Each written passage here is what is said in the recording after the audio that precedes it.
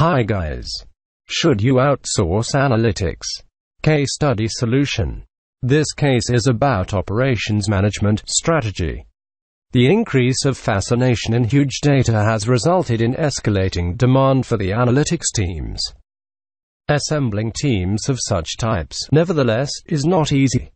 To begin with, many businesses lack the in-house wisdom and expertise needed to assemble a world-class analytics team. Thanks for watching this video.